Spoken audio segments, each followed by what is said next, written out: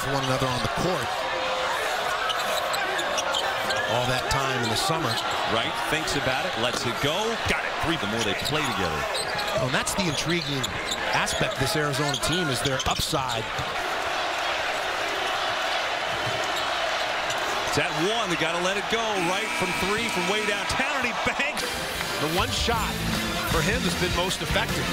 The third three-pointer, that's a contested shot as we explore. Take a look. They're going to go invert.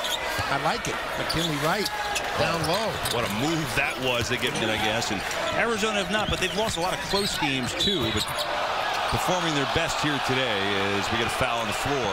That Assess the situation. Age, McHale at that age.